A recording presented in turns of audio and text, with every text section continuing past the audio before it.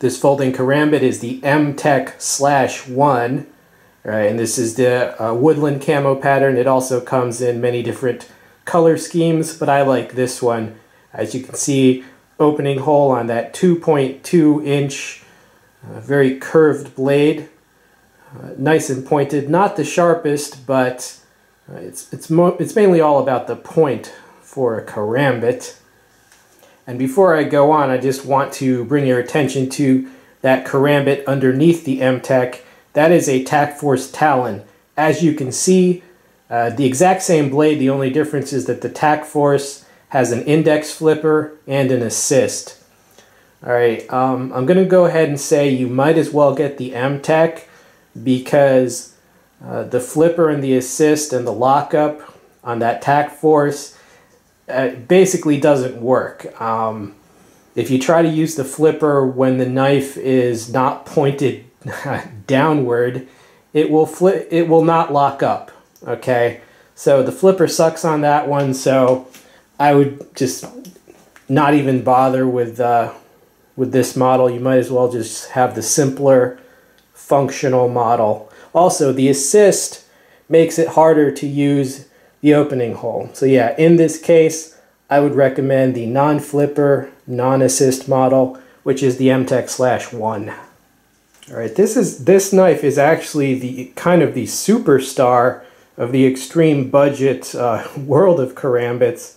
I've reviewed many cheap karambits in uh, in this series, and I have to say right off the bat, this is the best constructed of them all. One major difference is uh, is the liners.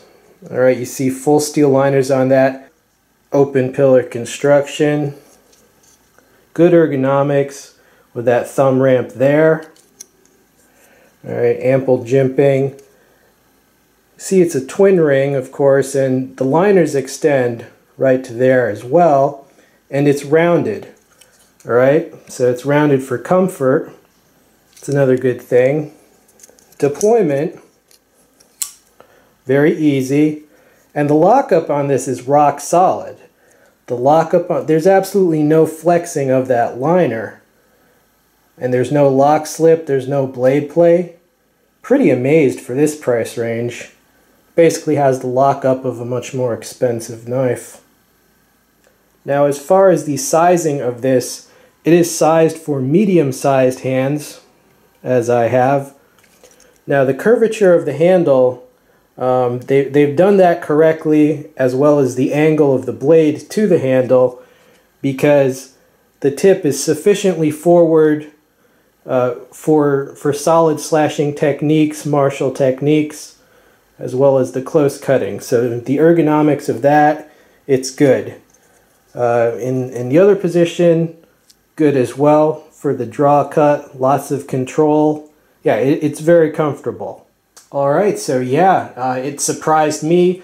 Of the six budget priced uh, folders in this series, uh, this was overall the best one. Okay, uh, you know, I try to give fair and balanced reviews. Um, it would be easy to come here and just uh, make fun of the knife, but you know, when I try it out and it actually has good features, uh, I'm, I'm going to tell you guys because you might want to use it, you know, mainly as a, as a trainer or just a cheap utility. The lockup is secure.